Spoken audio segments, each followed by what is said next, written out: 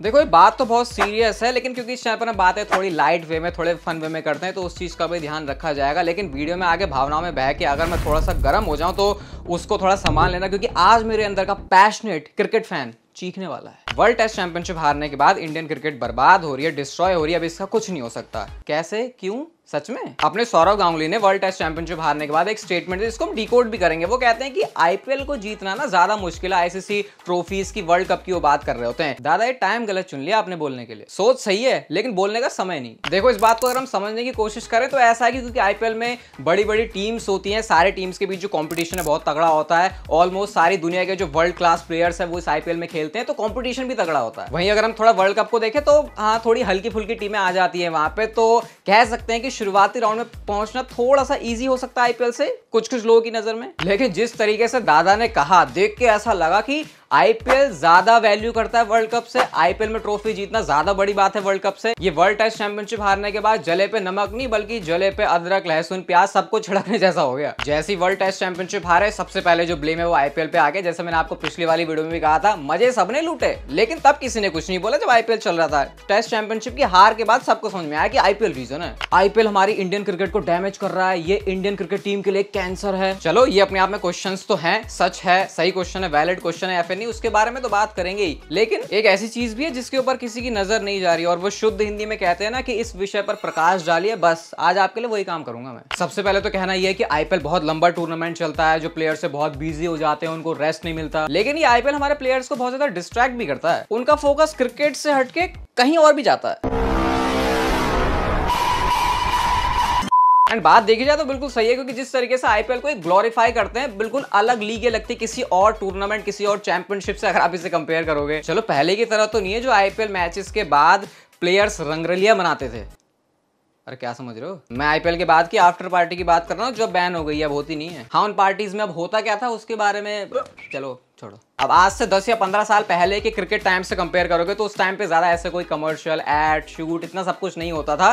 तो उनका काम होता था प्रैक्टिस करना, अपने मैच में फोकस करना रन बनाना, जीत की खुशियाँ मनाना और घर जाके सो जाना। लेकिन आज के टाइम में प्लेयर्स शूट्स भी कर रहे हैं कमर्शियल एड भी बना रहे हैं ट्रेवल भी कर रहे हैं इधर उधर बहुत ज़्यादा। और आईपीएल में हर साल जो हमको एक चीज़ दिखती है, जब हमारे प्लेयर्स नचनिया भी बन जाते हैं। तो काम तो बढ़ गया प्लेयर्स का। भाई, मैं एडवांस में बोल रहा हूँ, शुभमन गिल आगे जाके बहुत तगड़ा टारगेट बनने वाला है, क्योंकि अभी तो अच्छी फॉर्म चल रही है। अभी भाई साहब सोशल मीडिया पे इंस्टाग्राम पे ट्विटर पे, मस्त अपने ट्वीट फ़ोटो सब कुछ कर रहे हैं। लेकिन जब एक पूरा टाइम आता है हर एक प्लेयर का, जब उसकी फॉर्म बहुत टाइम तक लगातार बुरी चलती है, उसके बाद जो फैंस भिगो के मारेंगे ना शुभमन गिल को, ऐसे ऐसे पुराने ट्वीट और फ़ोटोज़ लेके आएँगे ना, ये क्रिकेट से संन्यास तो बाद में होगा, कहीं सोशल मीडिया से पहले संन्यास ना ले लें। वैसे स्वाद तो थोड़ा सा मिल गया होगा गिल को, जब उन्होंने अंपायर पे ट्वीट किया था और उसके बाद फाइन भी आ गया आईसीसी से अब मेरी बातें सुन के लग रहा होगा कि भाई, अभी की अभी आईपीएल को बंद कर दो, अब आईपीएल नहीं होना चाहिए, वरना हमारे इंडियन क्रिकेट खराब हो जाएगी। तो भाई जरा सा रुको, मेरे पास स्ट्रॉन्ग रीजन भी है कि आईपीएल बंद नहीं होना चाहिए। अरे, दोगलापन नहीं कर रहा समझाने तो दो। देखो आईपीएल की वजह से आईपीएल के अराउंड जो इंडियन टीम का शेड्यूल होता है, उसको सेटल करना पड़ता है। जबकि ओरिजिनली होना क्या चाहिए? कि पूरे साल भर इंडियन टीम क्या कर रही है, उसके हिसाब से आईपीएल का शेड्यूल हो। अब देखो, रोहित शर्मा खुद कह रहे थे कि भाई, हमको थोड़ा सा टाइम कम मिला प्रैक्टिस करने के लिए। अगर टाइम थोड़ा सा ज़्यादा होता तो बात अलग होती। इवन उन्होंने ये भी कह दिया कि जून में ना कराओ डब्ल्यूटीसी फाइनल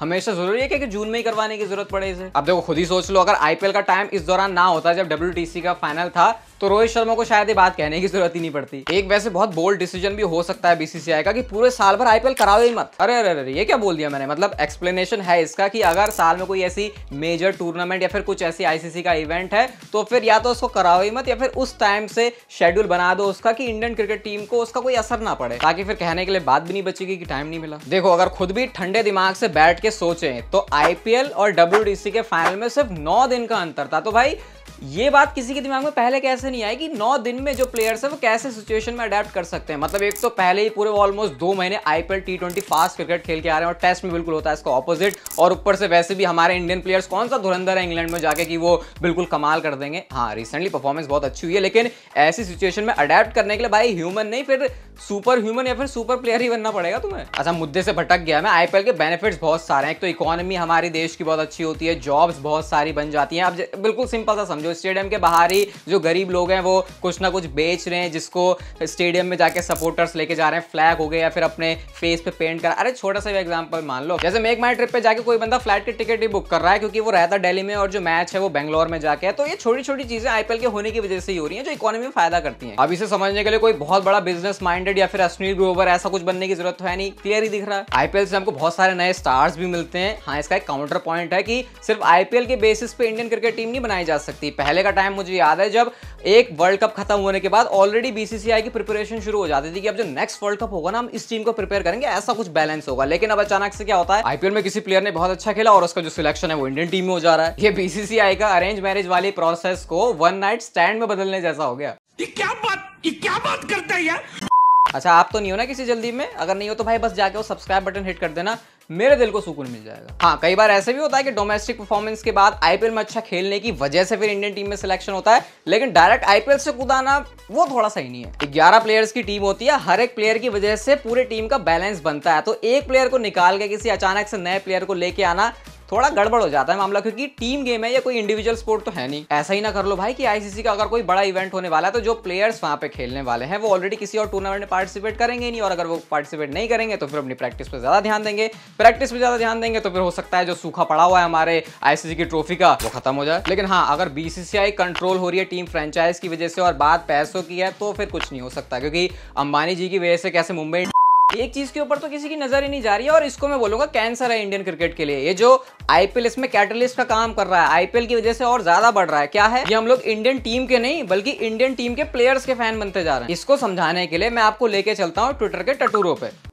हाँ इनको मैं ट्विटर के टटूरा ही बोलता हूँ। देखो, मैंने ज़्यादा कुछ नहीं किया, मैं ट्विटर पे गया, मैंने सिर्फ़ सर्च किया धोनी क्रेडिट और उसके बाद जो ट्विटर पे ट्वीट्स की बारिश हुई है, मैंने सच में किसी का अकाउंट भी खोल के नहीं देखा कि वो कौन है, क्या है, क्योंकि मेरे हिसाब से तो ये लोग सिर्फ़ टटूरे हैं। यहाँ पे ट्वीट में बताया जा रहा है कि कैसे धोनी ने डक परफॉर्मेंस करी, उसके बाद भी जो क्रेडिट है वो धोनी को मिल रहा है। कोई धोनी को क्रेडिट स्टीलर बता रहा है। धोनी ने कितनी सेंचुरीज मारी है वर्ल्ड कप में, फिर भी क्रेडिट धोनी पे ही जा रहा है। अब इन पार्ट टाइम वाले क्रिकेट फैंस को कौन समझाए कि भाई, रोनाल्डो से हम ये एक्सपेक्ट नहीं करते कि वो जाके डिफेंड करे, उनका काम गोल करने का है। धोनी ने कितनी बार खुद अपने इंटरव्यूज़ में कह दिया है कि मैं ज़्यादा ओवर एक्सपोजर चाहता ही नहीं। इसी वजह से उन्होंने उस बात को एक्सप्लेन भी किया था कि जब वो कोई ट्रॉफी जीतते हैं तो वो क्यों खुद सामने नहीं जाते, वो क्यों बाकी प्लेयर्स को मौका देते हैं? क्योंकि वो खुद उनको लगता है ऑलरेडी काफ़ी एक्सपोजर में है तो बाकी प्लेयर्स को भी शाइन करने का मौका मिलना चाहिए स्पॉटलाइट में आना चाहिए। ना आज गौतम गंभीर की बात कोई समझने वाला, ना आज से सौ साल बाद जाके गौतम गंभीर की बात कोई समझेगा, जो वो बात बोलते हैं कि क्यों सिर्फ़ धोनी के बारे में बात हो रही है। मतलब मैं खुद धोनी का बहुत बड़ा फ़ैन हूँ और सच में मेरे लिए बहुत बड़ी टर्म है कहना, जब मैं कह रहा हूँ कि मैं धोनी का फ़ैन हूँ, क्योंकि